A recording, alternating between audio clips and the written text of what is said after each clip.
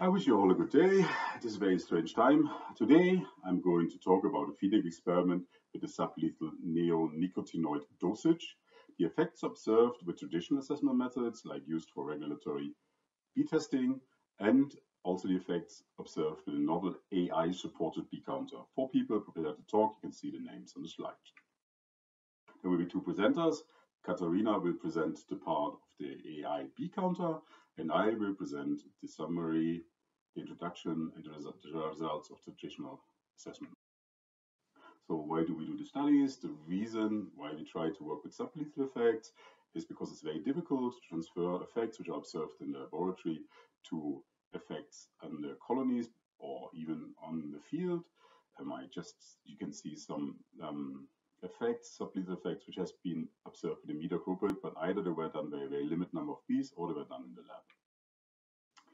So what was the objective of our field study? We wanted to validate whether sublethal effects can be observed in a study design which is based on the Oomen study.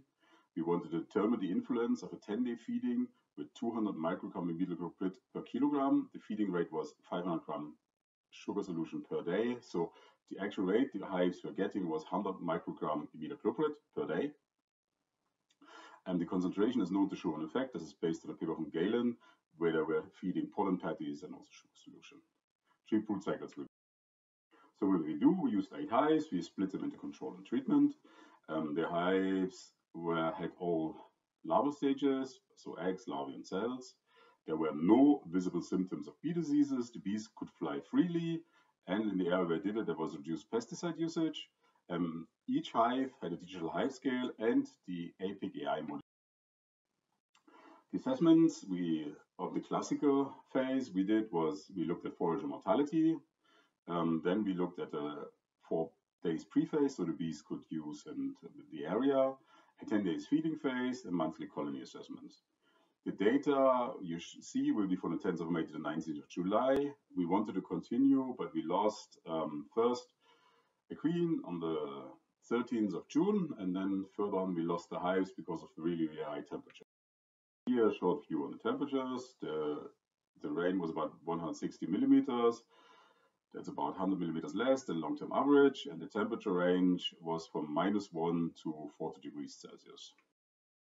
So now to the feeding. What happened? The bees in the neonicotinoid treatment consumed about an average 25% less sugar solution than in the control. So they noticed there was something. So there were some T total bees to say.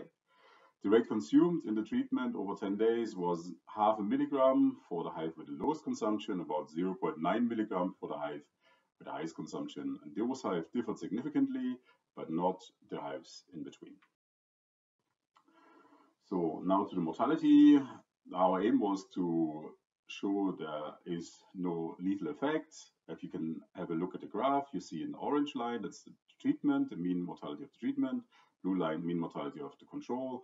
The shaded areas, orange and blue, show the minimum maximum amount. You can see there's a quite nice overlap until the end of the feeding where there's a higher mortality in the control and after the feeding is a higher mortality in the treatment, but none of the differences was significant. Now to the hive strengths, the colony strengths, you can see before the exposure started, the hives were more or less similar, very, very similar, with more than 20,000 bees, between 20,000 and 25,000 bees. And one month after the feeding or the first brood cycle, there was significant reduction in the hive strengths, but this reduction then was getting smaller and smaller between treatment and control. There was no significant difference afterwards, but the variability in the treated hives was much, much higher than in the control hives for the results of the brood. There was no difference between the eggs and the larvae. Actually, in the treatment, the number of eggs and larvae was slightly higher than in the control, but not for the pupae. In the pupae, after the feeding, there was a decline in number of pupae and then an increase in number of pupae. Further to the assessments for the food, um, there was less nectar in the treatment stores, but not significantly so. And interestingly, one in the first after first brood cycle, was an increase actually in the amount of pollen. So that's contrary to the expected effect, where we say there's reduced activity. Then could we see these results in the hive weight? Yes, we could. We can see here during the exposure until very late in the exposure hives, they're very similar, but um, after exposure or at the end of exposure, the hive weight of the treated um, hives declined quite dramatically and stayed lower than control hives. And you can see that at the end of June, the variability between the hives increased a lot. Again, the hive where the queen was lost was excluded after the 13th of June. So the result summary, there was no significant increase in the mortality during the feeding period. Um, the 200 microgram imidacloprid really clearly reduced the activity of the forager bees. There was definitely less nectar collected. We could see this in the change of the weight. And also there were less bees developing. The development from larva to pupa was less successful immediately after the feeding period. And the variation between the hives increased, but in both treatments, even though the same landscape was used. And now, Katharina. Each of the eight hives in the study was equipped with a digital monitoring device for the hives. It is a combination of hardware and software. Hardware, that is a camera which films all bees leaving and entering the hive, and software which is later used to analyze the footage which is recorded. The devices themselves are solar powered, which means they are self-sufficient. When it comes to analyzing the footage we recorded, there is a three-step process. In the first step, we detect the bees on, on the images. In the second step, we look at how they are moving through various frames in order to detect their movement and say how many have gone out of the hive and how many have come back and how many maybe just have circled. In the last step, um, we detect pollen on the individual bees in order to be able to um, say how the foraging behavior has developed. We arrived the activity of the bees from the number of transits through the field of view of the camera.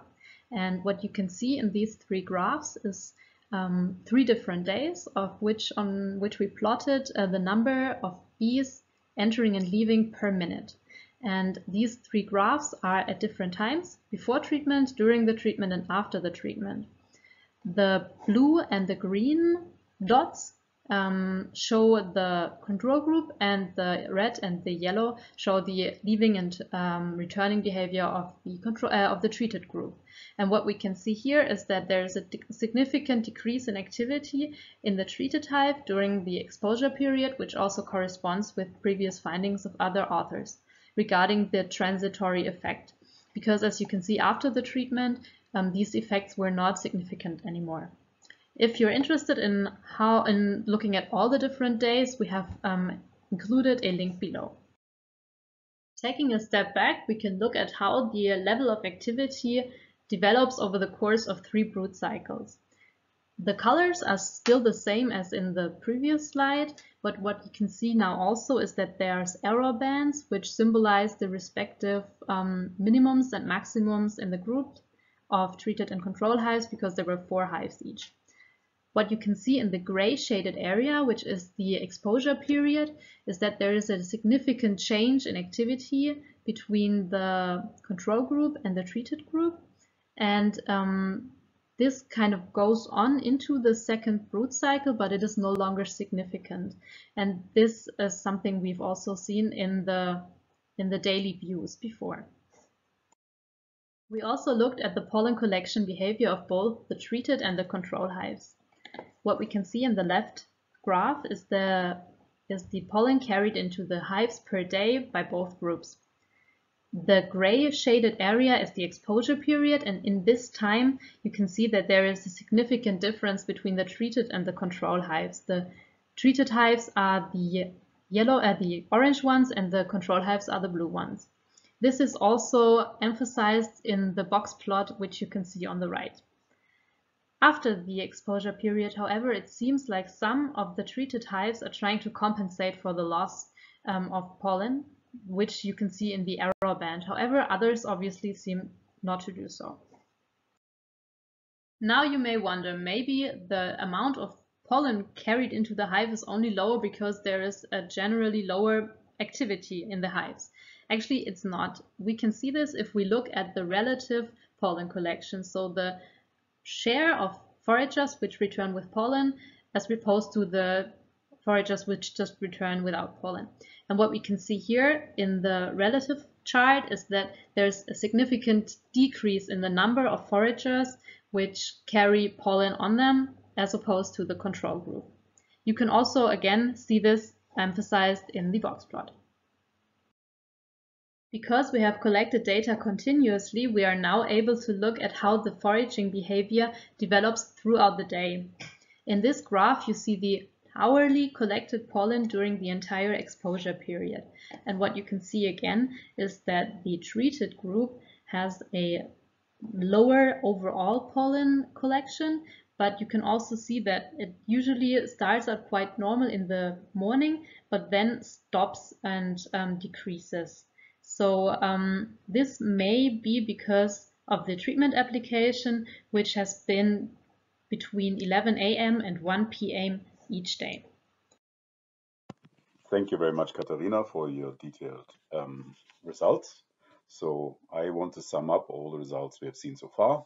So what you can see that the bees actually did avoid the treated food. So there was a 25% less production. So there were some teetotal bees not feeding on the new imidacloprid. The concentration applied was clearly sublethal. There was no increase in mortality. Um, there was a reduction in the activity during the feeding period. You can see this, and there was a slight increase after the feeding period, and that was being confirmed with the hive monitor. We've seen it also on the increased amount of pollen. There were lower nectar and pollen resources, also collected. That is confirmed with the Hive monitor and also confirmed with the scales. There was no clear effect on the brood development, but a reduction in the number of pupae, so, which might be an indication that there are some fine tuning within the hive didn't work as well. There were transitory effects of the imidacloprid on the honeybee activity at colony level, and that was confirmed with the hive monitor as well. So you could see that the activity increased again. Why the activity decreased at the end is not quite clear. Um, we have now, or APIC has now developed a new generation of the Hive Monitor, and this year there will be some more studies. I would like to draw your attention to the poster where there's the pollen recognition. And I would like to finish with the video and the references. Thank you very much. Finally, I'd like to invite you to check out our poster on pollen detection and quantification, which is 202P13.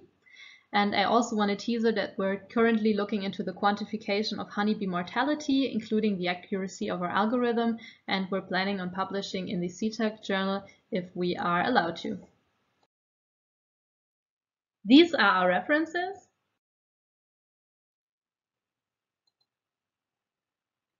In case you have any questions about our study design or our research methods, please don't hesitate to get in contact with us. You can find both Silvio's and my email addresses in the very first slide. Thank you so much for your interest in our study.